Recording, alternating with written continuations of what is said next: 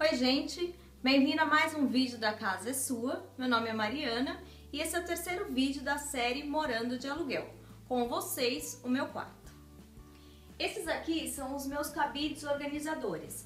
Nesse aqui eu coloquei lenços e cintos e nesse aqui eu coloquei bijuteria. Então, quem mulher sabe que várias vezes a gente coloca uma gaveta inteira, fica muita bagunça, a mesma coisa com colar, acaba ficando emaranhado. Então, é fácil de fazer esse projeto, tá todo, tá tudo explicadinho lá no blog e eu acho que fica muito mais prático, tanto para para ganhar espaço na gaveta, como para ser fácil mesmo na hora de achar, de pegar e não ficar aquela bagunça.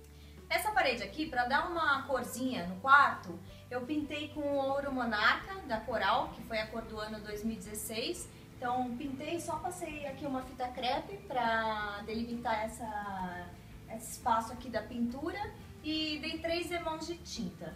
Esse cabideiro aqui eu já tinha, então só prendi na parede, usei uma bucha 5 só para organizar a bolsa, jaquetas, essas coisas. Esse sapateiro aqui eu achei numa caçamba também, então tinha essa placa aqui de madeira e esses dois blocos. Os dois blocos, eles estavam aqui na metade, estava tipo um aqui e outro aqui. Então ele não parava em pé. Então eu trouxe para casa, lixei, passei betume e depois só coloquei os blocos no lugar certinho.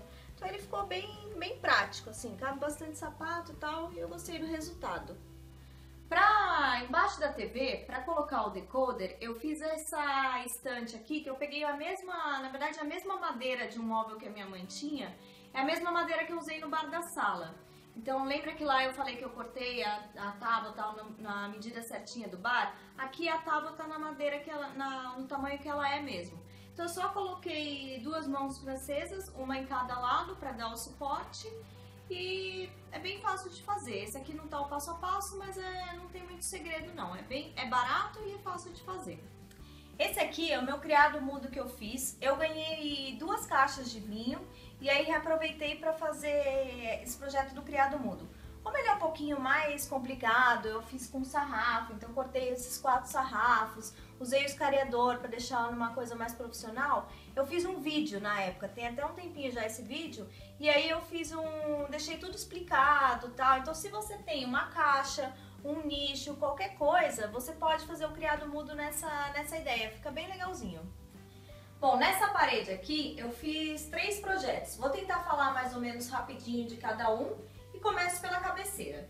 Essa cabeceira aqui, eu comprei esse tapete, eu comprei novo, só usei pra cabeceira. Então comprei esse tapete e aí eu, eu prendi, costurei aqui com fio de nylon nesses ilhoses de madeira e aí coloquei no varão de, de bambu. É um projeto fácil para lavar, é só tirar aqui, que eu coloquei esse pitão, e tá bem explicado também o passo a passo no blog. Depois, um mural de quadros, eu fiz... Eu, esses aqui eu ganhei do meu cunhado, esses quatro. E esse aqui do meio é um de silk que eu achei numa caçamba. Então eu passei aqui betume e na parte interna passei um laranja para contrastar com o verde. É, aqui, é a, como eu mostrei para vocês, o meu criado muda pequenininho. Então aí eu coloquei uma luminária, eu fiz essa luminária aqui com... Comprei esse robozinho e aí fiz uma luminária. Coloquei aqui uma abraçadeira de metal, o soquete e aí só liguei aqui. Também tá bem explicado passo a passo. Bom, o robozinho articulado, o legal dele também é que você pode mexer a perninha, você pode mexer a mão, então você pode deixar a luz em diversos ângulos. E esse foi o meu quarto. Eu queria agradecer a todas as pessoas que me mandaram comentários, que me mandaram, é, que deram joinha no vídeo, que se inscreveram no canal. Muito obrigada! E a gente se encontra no próximo vídeo da série Morando de Aluguel. Um beijão, até lá!